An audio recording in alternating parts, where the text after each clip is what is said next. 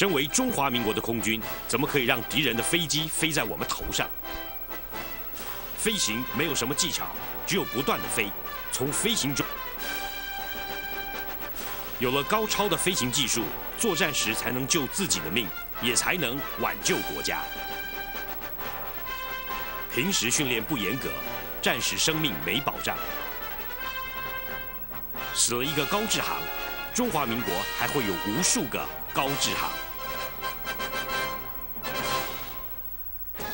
民国二十六年七月七号，卢沟桥事变爆发。为防止日军突破连云港入侵中原，我空军第四大队奉命转场华东，以杭州曹娥机场为前进基地。八月十四号，大队长高志航自南京飞抵笕桥，突获日军机队进袭情报。高大队长随即驾机率部迎敌。总计这场战役击落日机六架，击伤两架，而国军飞机无一损失。悬殊比例之辉煌战果，打破日本皇军无敌的神话，激励全国抗战意志。这也是八一四空军节的由来。抗战初期，我空军在装备、训练不足的状况下，奋战优势的日本航空队。由于高志航大队长果敢的领导，以及我英勇的空军健儿们不畏强敌、视死如归奋战下，以劣势的兵力迎敌，终能创下辉煌的战果。尤其在民国二十六年八月十四日杭州笕桥空战大捷，不仅振奋了全国军民抗日必胜的决心，更粉碎了日本军阀三月亡华的狂妄迷梦。由此可证明了精实严格的训练可以弥补武器装备的不足，奋勇杀敌的决心更为作战制胜的重要因素。抗战牺牲的烈士不止我爸一个，对不对？尤其是抗日的时候，第二次世界大战我们八年抗战，你想想有多少人？我们不过是其中的一击沙子而已。不过爸爸英勇的事情，我觉得值得后辈大家都怀念一下。他可以牺牲自己，牺牲家，牺牲自己的一切。成为今天大家称他的烈士，这个不是普通人能够做得到的一点。飞机飞到天空以后啊，假如敌敌人在尾巴咬到你们打时候，那你要赶快脱离它。那脱的最最好的方法就是往下再咬到它后面去。可他们说这个不好做，不好做。那我父亲说好，你看我来做，我父亲自己把它做到的。他说我我可以做到，你们也可以做得到。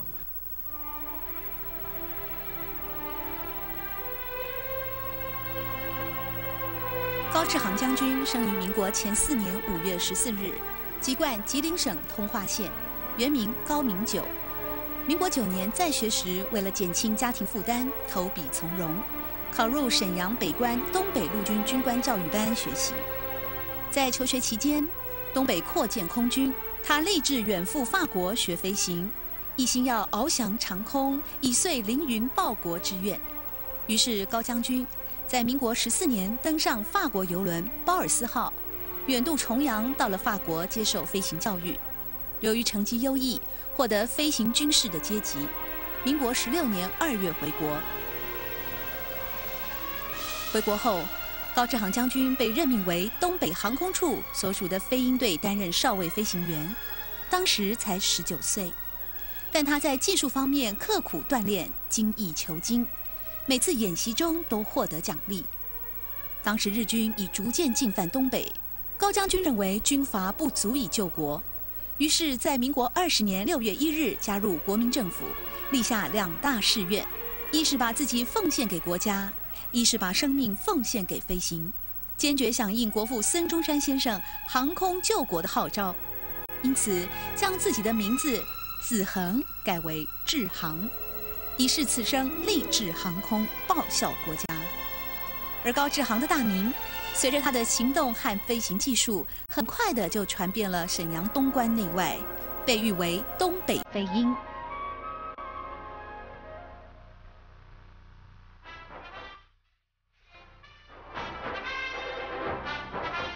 民国二十一年一二八上海保卫战后，高志航奉派在笕桥中央航空学校担任教官。正式核序空军阶级为上尉上级飞行教官。民国二十二年十二月，航空学校成立一个驱逐队，物色一位队长人选。理所当然的，高志航被选为第一任的队长。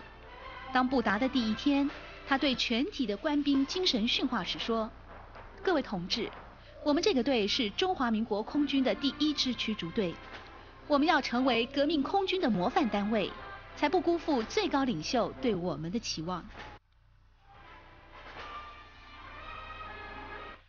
民国二十四年，高将军向美国购回霍克式驱逐机一百架回国，成立五个大队。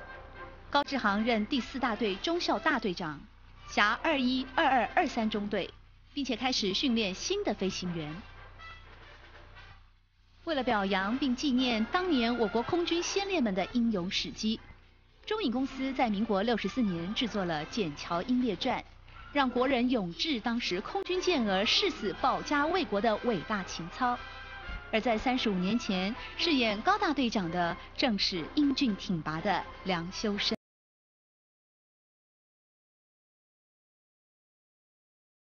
开拍之前呢，呃，除了收集他的有关的资料哈，呃，最重要就是说啊，我也到了呃第四大队，当时是嘉义机。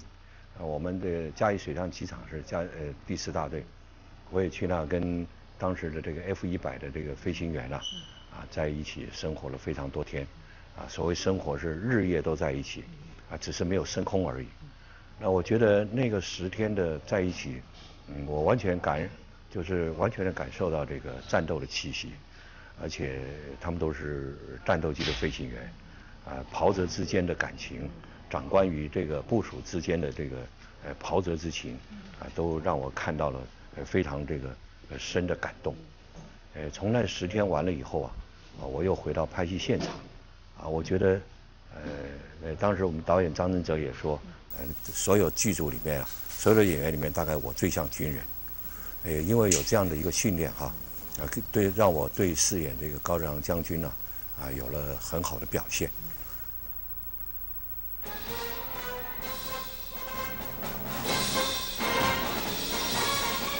民国二十六年八一三淞沪战役爆发，日本航空队百架轰炸机开始轰炸江浙两省。国民政府军事委员会在八月十四日紧急命令当时驻防河南周家口的空军第四驱逐机大队调往杭州笕桥，以加强淞沪地区的防空力量。临走前，高志航叫来身边的传令，交代说：“我说不定哪天死。”请先把大队的收支账目整理好，随时准备移交。飞机刚降落笕桥基地，还未来得及加油，日本空军的十八架轰炸机就来到了笕桥上空。高志航将军紧急下令起飞，他首开第一炮，击落日本领队机，接着与李桂丹中队长及各分队长四面出击，在一番激战后，击落敌机六架，击伤两架，而国军飞机无一损失。辉煌战果轰动了全国，在抗战史上也写下了空前辉煌的记录。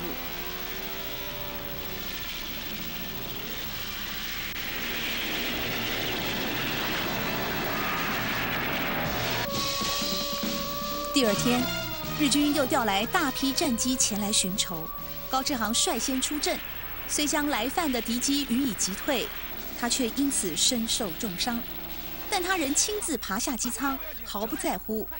之后被送进杭州广济医院，后转到庐山休养。先总统蒋公特别亲自召见慰问，同时亲笔题赠“无影为荣”，表彰他的功绩。此时，因为无法眼睁睁地看着日军在我们的国土上烧杀掳掠，以及一个个同伴为国牺牲，所以高志航强忍未愈的旧伤。赶着返回部队，在部队中，他又别出心裁改装霍克三型战机，希望能以轻装取胜。之后，他又在负伤的情况下，带着部署一同捍卫领空，有多次伤口裂开，降落地面已呈现昏迷状态的记录，但他都无怨无悔地坚持下去，因为他始终没有忘记那句话：每次看到日本飞机在我们头上飞来飞去。我就恨不得驾飞机飞上天空，将他们赶走，把他们赶回东京去，不许他们在我们的上空耀武扬威。淞沪战役后，苏联为防止日军以中国大陆为基地向北进攻，因此特地出售驱逐机给国军。高志航以空军上校第四大队长的身份，到兰州机场办理接机事宜。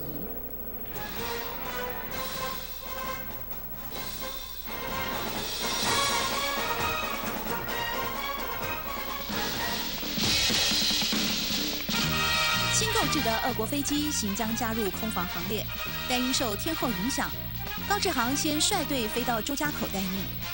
民国二十六年十一月二十一日，正当天气转好，飞机准备起航时，突然响起了紧急警报：九架日本轰炸机从长城方向飞到了周家口上空。高志航见日机突然扑来，立即下令全体队员紧急上机作战。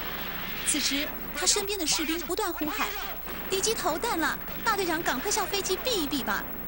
高志航回说：“身为中华民国空军，怎么可以让敌人的飞机飞在头上？”但是飞机仍发不动，最后日军弹如雨下，他的座机被日军炸毁。高志航大队长被震摔在左机翼后边，全身血肉模糊。几个医务人员立即跑来抢救，但仍回天乏术。空军战神就此与世长辞，时年三十一岁。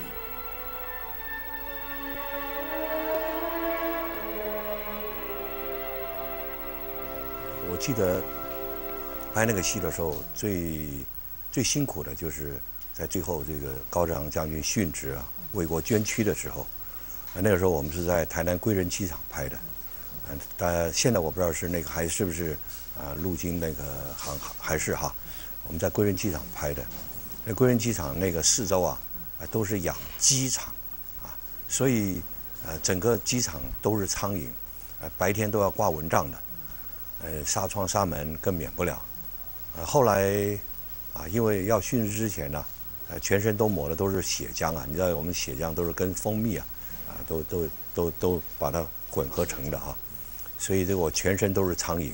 然后我们拍摄的时候，啊，尤其我们唱空军军歌，我们当时全体的演员一面唱一面通通都哭的。呃，到今天为止，我我只要听到空军军歌，我还会头皮发麻。所谓头一发麻，呃，不是不好的反应，是正面的，觉得好，好像我我就是跟空军是息息相关的。练习飞行的，上飞机之前都是跑步过去，这是我爸爸规定的，非常严格，非常严格，他样样都要求百分百。我父亲虽然带兵很严格，要求很严格，可是他心肠很软。他有时候他最喜欢那个队员叫乐以琴啊，大概犯错了。犯错了，他就罚他背着保险伞，飞机把他跑，可他他一面跑，我我爸爸一面会掉眼泪。我爸爸给我们的光荣，这份光荣不是任何人可以代替的。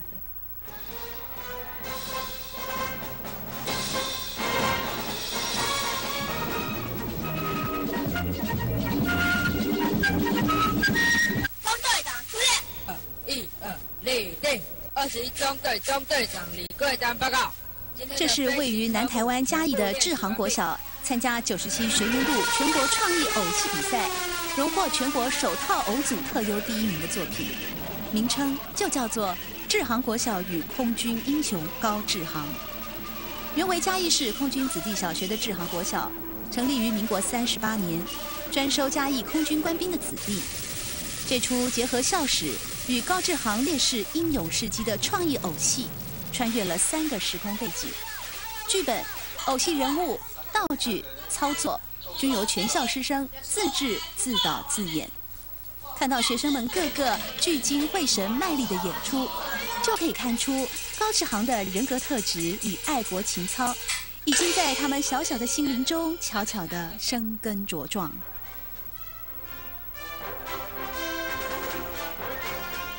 敬礼。那那个时候的话，高志航他的母亲哈高李春英啊，他就住在我们这一个眷村里面。那我们也透过很多我们志航国小的校友啊，然后能够知道有关于高志航的一些故事哈。像呃，他们早期的时候，小朋友上下学都是坐这个军车啊，军车上下学。所以算是啊全全台湾的话啊最最先有校车的啊国民小学。然后一方面也是希望说能够激发说小朋友的一种爱国的情操了哈，因为因为小朋友看到这个高志航的故事的话，其实都蛮感动的哈。小时候我们都看过那个《剪桥英烈传》，所以那时候也也让我开始对飞机着迷了哈。那那我因为我们这剧中的那个场景的需要，所以我们分了很多的镜。那分镜之后就。会因应飞机的那个、那个、那个场景的需要，所以飞机会有大跟小，所以我就依照那种大小尺寸来来的需求哦，来把飞机做出来。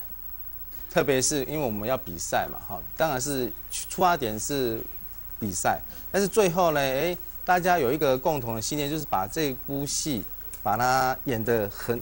好像因为好像是高志航啊，志航跟我们学校又有关系，所以大家都尽量把这出戏演得很好，这样子。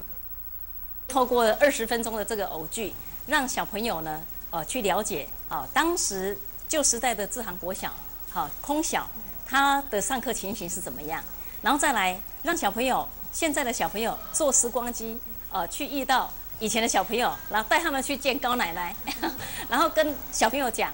高志航先生的一个故事，让他们知道说，哦，原来高志航先生是一个非常爱国的空军英雄啊。然后整个战斗的啊，这个哈战斗机的一个哈那些在看诶在打仗的那个情形，小孩子就有那种身临其境的感觉。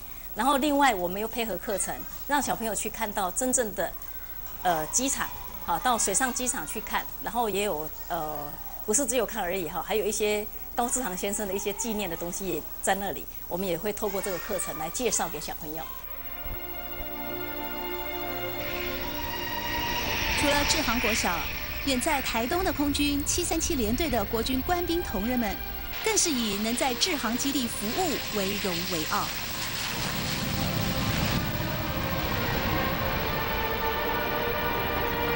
高志航是空军飞行员心目中的战神。